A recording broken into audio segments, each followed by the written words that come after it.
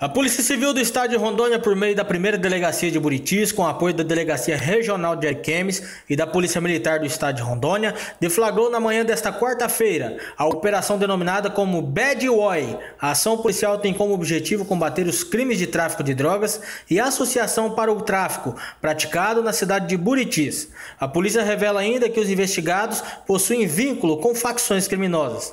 Durante a operação foram cumpridos 15 medidas cautelares expedidas pelo judiciário local, consistentes com seis mandados de busca e apreensão domiciliar, sete mandados de prisão preventiva, dois mandados de intervenção provisória de adolescentes em conflito com a lei. Vale ressaltar que dois mandados de prisão foram cumpridos na unidade prisional de Buritis.